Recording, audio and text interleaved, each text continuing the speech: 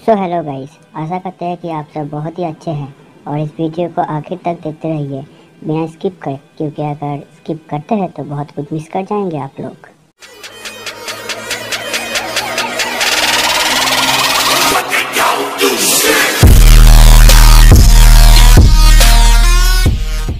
So guys आज हम फिर से बात करने जा रहे हैं उसी देश के बारे में।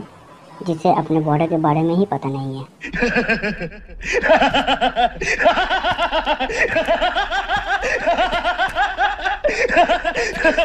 हाँ मुझे पता है।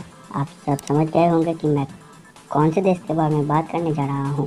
बहुत तेज हो रहा है बहुत तेज हो रहा देखो भाई अब ये देश हम हिंदुस्तानियों को बोल रहे हैं कि हम अपने ज़मीन छोड़ दें। कुछ भी कुछ भी। अरे भाई। यहाँ हम लोग सोते हुए हमारे चप्पल नहीं छोड़ते। तो तुम कह रहे हो कि हम अपना देश छोड़ दें ऐसे ही? कुछ भी? हाँ?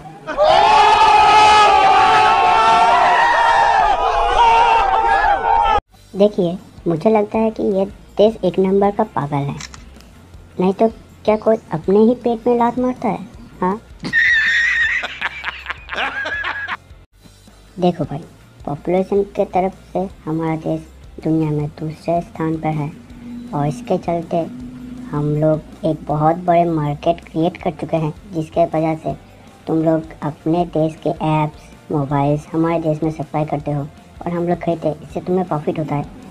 लेकिन ये जो तुम लोग काम कर रहे हो ना, ये छुरी घोप रहे हो, इसके बदले में हम लोग क्या करेंगे? इसे बॉयकॉट करेंगे। और तब क्या होगा? तुम अपने ही पेट में लात मार चुके होंगे। और और ये लात मारने से याद आया भाई एक बार कोरोना ख़त्म होने दो उसके बाद तुम्हें लात ही लात मारेंगे हम कसम से। अबे साले तभी स... मेरा मत- माफ़ करना गुस्से में इधर उधर निकल जाता हूँ। अब चलते हैं हमारे बाकी के दो पड़ोसियों के पास। जी पाकिस्तान और नेपाल। भाई पाकिस्तान तेरे पास तो कुछ भी नहीं है। तू इतना उछलता क्यों है? अबे साले तभी स... मेरा मत- माफ़ करना गुस्से में इधर उधर निकल जाता हूँ। चल ठीक है तेरा मेरा समझ में आता है। हम तेरे को दो चार झापड़ दे देते हैं और तू भी हमसे कभी कभार एक दो फाइट ले भी लेता है।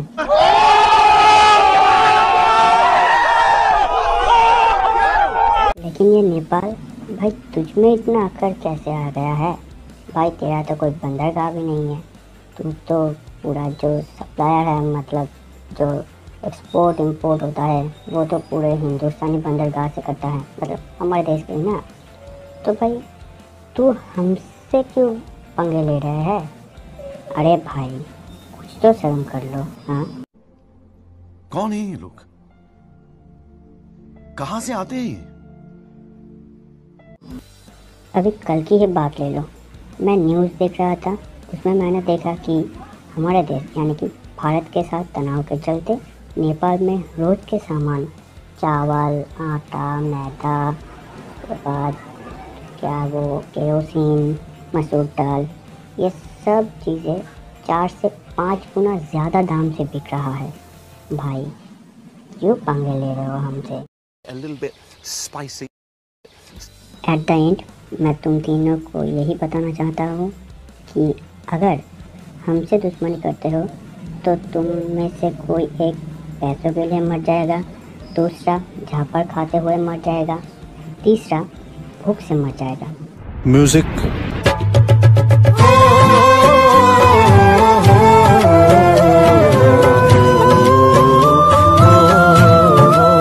तो मैं तुम लोगों को बात बताने जा रहा हूँ इसे एडवाइस वार्निंग कुछ भी समझ लेना लेकिन रिक्वेस्ट मत समझना। अरे कहना क्या चाहते हो? भाई, हमसे टकराओगे तो मिट्टी में मिल जाओगे।